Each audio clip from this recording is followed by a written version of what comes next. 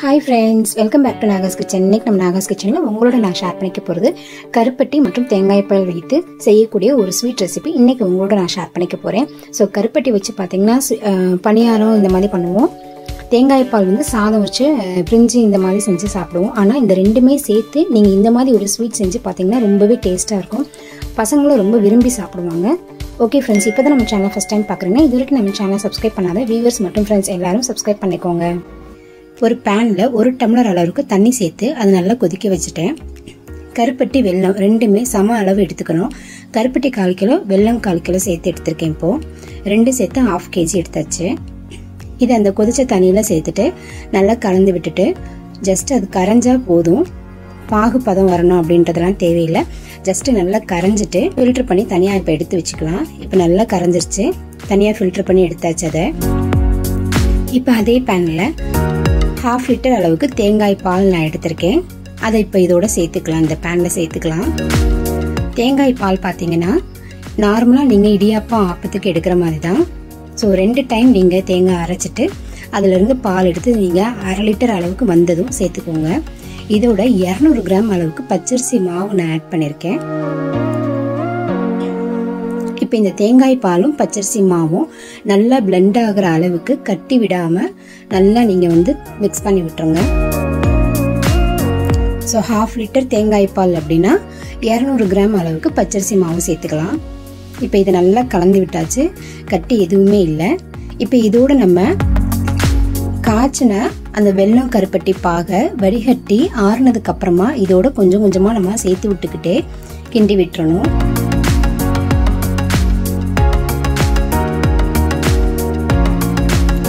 Flame வந்து பார்த்தீங்கன்னா ரொம்பவே சிம்மில் வச்சுருக்கேன் நான். ஏன்னா மீடியம் ஃப்ளேமில் வச்சா கூட நம்ம கலந்து விட்டுட்டே இருந்தால் கூட ஒரு சில நேரத்தில் கட்டிப்பட்டுரும். அதனால் நல்லா சிம்மில் வச்சுட்டு நல்லா கிண்டி விட்டுருங்க.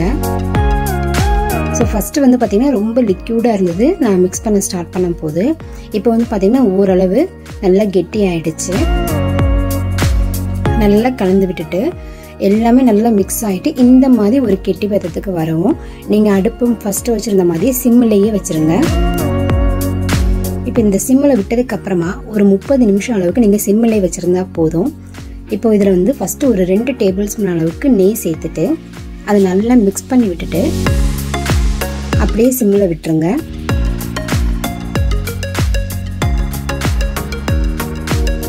இந்த ஸ்வீட் ரெசிபி பார்த்தீங்கன்னா ஒன் வீக் அளவுக்கு நீங்கள் ஸ்டோர் பண்ணி வச்சு சாப்பிட்டுக்கலாம். இப்போ இது நல்லா கலந்து அந்த நெய்யெல்லாம் நல்லா மிக்ஸ் ஆகிற அளவுக்கு கலந்து விட்டுட்டேன். இது அப்படியே இப்போ சிம்லேயே இருக்கட்டும். இது வந்து பார்த்திங்கன்னா எப்போ நம்ம இதை வந்து இறக்கணும் அப்படின்னு பார்த்தீங்கன்னா நம்ம ஊற்றுன தேங்காய் பால் வந்து அப்படியே தேங்காய் எண்ணெயாக மாறி அப்படியே சைடு எல்லாத்துலேயுமே வந்து வெளியேற ஆரம்பிக்கும். ஸோ அந்த ஸ்டேஜ் வரவும் தான் நம்ம வந்து அடுப்பை ஆஃப் பண்ணணும். இப்போ ஒரு பத்து நிமிஷம் கழிச்சுட்டு திருப்பி ரெண்டு டேபிள் ஸ்பூன் அளவுக்கு நெய் சேர்த்துட்டு சேர்த்துட்டு இதையும் நல்லா மிக்ஸ் பண்ணி விட்டுக்கலாம். இதுக்கு வந்து பார்த்தீங்கன்னா நெய் வந்து நூறு கிராம் சேர்க்கணும். நிறையா நிறைய சேர்க்கணும் அப்படிங்கிறதுலாம் கிடையாது. ஒரு ஆறு டேபிள் ஸ்பூன் நெய் மட்டும் நீங்கள் ஆட் பண்ணாலே போதும். அந்த தேங்காய் பால் வந்து தேங்காய் எண்ணெயாக அப்படியே வந்து மாறிட்டு வெளியே வரையில் ஈஸியாக நமக்கு கிண்டுறதுக்கும் ஈஸியாக இருக்கும். டேஸ்ட்டும் ரொம்பவே நல்லாயிருக்கும் இப்போ திருப்பி ரெண்டு டேபிள் ஸ்பூன் நெய் சேர்த்துட்டு அதே சிம்மிலேயே நான் விட்டுட்டேன். இது மூணாவது டைம் ரெண்டு டேபிள் ஸ்பூன் நெய் சேர்த்துக்கிறேன்.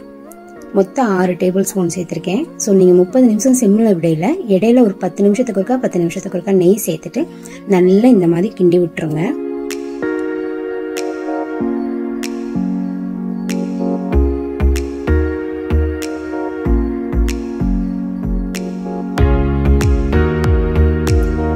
ஸோ நம்ம கஞ்சி களி கருப்பட்டி சேர்த்து கிண்டுறதுக்கு பதிலாக இந்த மாதிரி ஸ்வீட் ரெசிபிஸ் செஞ்சுட்டு ஒரு கண்டெய்னரில் போட்டு வச்சிட்டிங்கன்னா பசங்க டெய்லியும் கூட கொஞ்சம் கொஞ்சமாக எடுத்து சாப்பிட்டுக்குருவாங்க.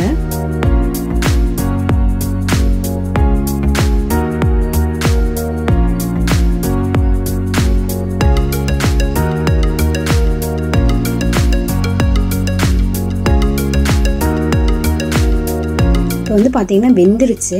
ஆனால் நமக்கு அந்த எண்ணெயெல்லாம் இன்னும் திரண்டு வரணும் மேலே. ஸோ அந்த அளவுக்கு வந்து நம்ம இன்னும் கொஞ்சம் நேரம் விடணும். ஸோ நல்லாவே வந்துருச்சு. கரண்டியில் கூட ஒட்டலை.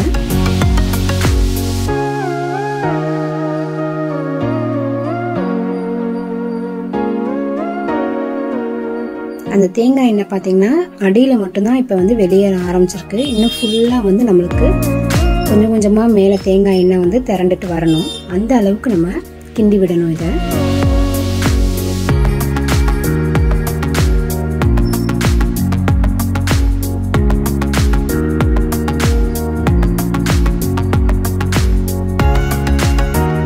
இது வந்து பார்த்திங்கன்னா நம்ம கோதுமை மாவு அதெல்லாம் சேர்க்கணுன்ற தேவையே இல்லை. ஒரு இரநூறு கிராம் அரிசி மாவு இருந்தாலே போதும். ஈஸியாக இந்த ஸ்வீட் ரெடி பண்ணிடலாம். இப்போ வந்து பார்த்திங்கன்னா நல்லா ஒரு அல்வா பதத்துக்கு ரெடி ஆகிடுச்சு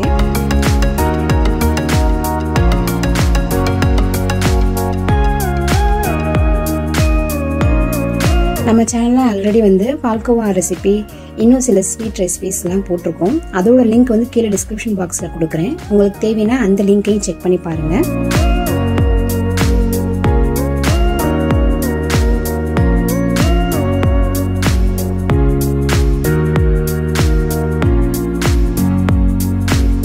இப்போ நல்லா ஸ்மூத்தாக நமக்கு வந்து இந்த ஸ்வீட் ரெடி ஆயிடுச்சு.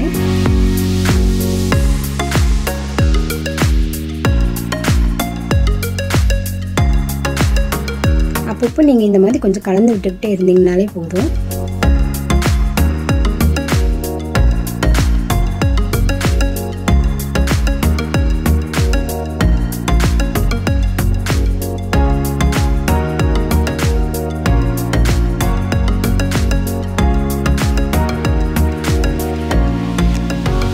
இப்போ வந்து பார்த்தீங்கன்னா தெரியும் அடியில் அந்த தேங்காய் எண்ணெய் வந்து நல்லா வெளியேறி வந்துக்கிட்டே இருக்குது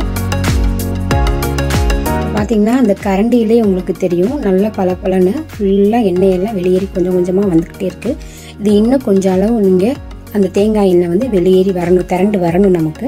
அப்படி வரவும் நீங்கள் ஆஃப் பண்ணிட்டீங்கன்னா போதும்.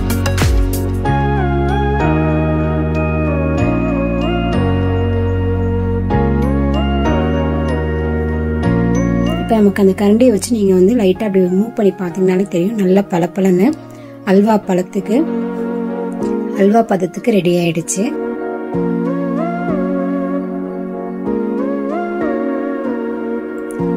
ஸோ அவ்வளோதான் கரெக்டாக ஒரு டுவெண்ட்டி ஃபைவ் மினிட்ஸ் கழிச்சு நீங்கள் பார்த்தீங்கன்னா அந்த ஓரம் ஃபுல்லாக அந்த தேங்காய் எண்ணெய் வந்து நல்லா ஸ்ப்ரெட் ஆகிட்டு நல்லா திரண்டு வந்துக்கிட்டே இருக்குது ஃபுல்லாக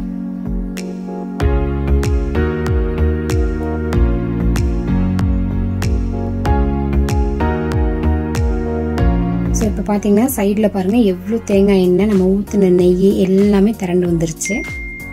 ஸோ இந்த அளவுக்கு நீங்கள் நல்லா கிண்டி விட்டுட்டு இறக்கிட்டீங்கன்னா ஸ்வீட் வந்து ரொம்ப டேஸ்ட்டாக இருக்கும்.